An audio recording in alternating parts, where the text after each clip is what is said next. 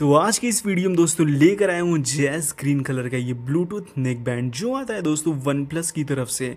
और आज इसके कुछ फीचर्स के बारे में हम बात करने वाले हैं। तो जैसे कि दोस्तों इसका डिज़ाइन एंड लुक देख सकते हैं आप, काफ़ी यूनिक और काफ़ी प्यारा है जो अभी वन प्लस ने हाल ही में लॉन्च किया था। और ये दोस्तों ग्रेश एंड ग्रीन कलर का ये नेक बैंड।